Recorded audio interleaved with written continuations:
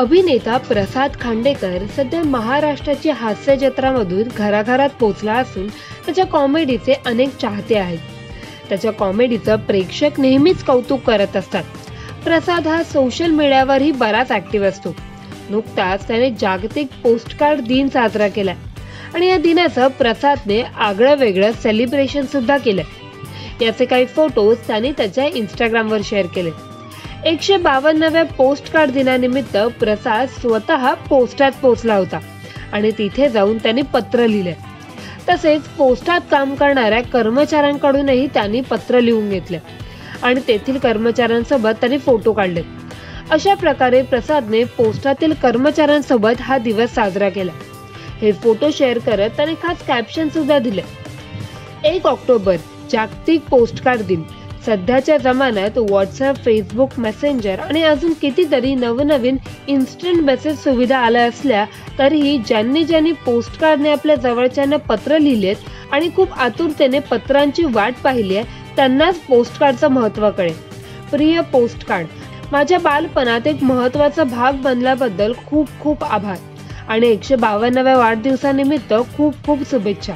असं कॅप्शन त्यांनी या पोस्टवर दिले महाराष्ट्राच्या हास्य जत्रा या कार्यक्रमात प्रसाद वेगवेगळ्या भूमिका साकारत प्रेक्षकांचं मनोरंजन करत असतो. हास्य जत्रेमध्ये प्रसाद आणि नम्रता यांची जोडी विशेष लोकप्रिय आहे. त्यांची केमिस्ट्री सुद्धा अतिशय उत्तम रंगताना दिसते.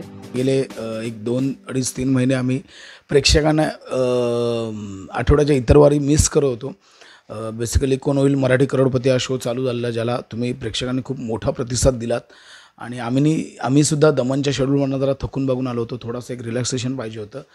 ते मिळालं एक पंधरा वीस दिवसांचं. सो आता पुन्हा नव्या जोमाने तुम्हाला हसवायला येतो सोमवार मंगळवार बुधवार गुरुवार आठवड्यातले चार दिवस. तुमची लाडकी हास्य जत्रा घेऊन. मलाही खूप छान वाटतंय कारण आधी आठवड्यातले एकच दिवस होतो. आता मी चार दिवस भेटणार आहोत. म्हणजे जसं प्रेक्षकांना खूप मनमुराद हसायला मिळणार आहे तसंच आम्हालाही मनमुराद शूटिंग करायला मिळणार आहे. आणि वेगवेगळे कॅरेक्टर्स वेगवेगळे स्किट्स वेगवेगळे विषय घेऊन आम्ही प्रेक्षकांसमोर येतोय. त्यामुळे खूप जास्त एक्साइटमेंट आहे. आणि आय होप नक्कीच प्रेक्षक सुद्धा तेवढंच एन्जॉय करतील. कारण आम्हाला सोशल मीडियावर सुद्धा खूप जणांनी विचारलं की कधी तुम्ही येणार आहात लवकर? कधी आम्हाला तुम्हाला रोज बघायला मिळणार आहे?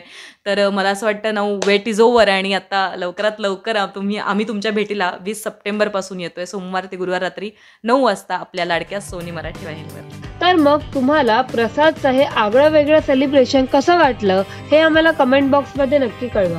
याशिवाय हा व्हिडिओ आवडला असेल तर लाईक करा आणि आमच्या लोकमत फिल्म चॅनेलला सबस्क्राईब करा.